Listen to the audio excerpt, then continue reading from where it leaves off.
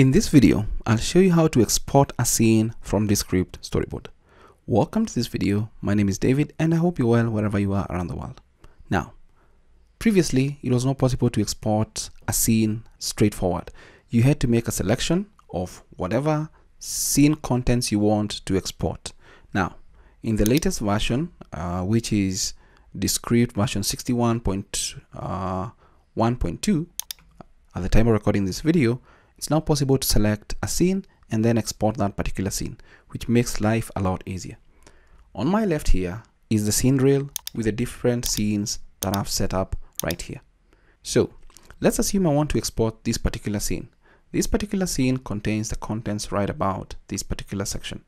All I need to do is just click on it.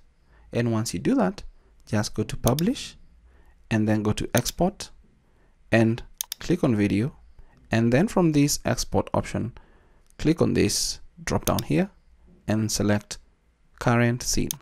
Click on that and then set the settings that you want here. And if you're satisfied with that click on export. Once you do that go to save click on save. It's already exists sorry. Let's say new click on save.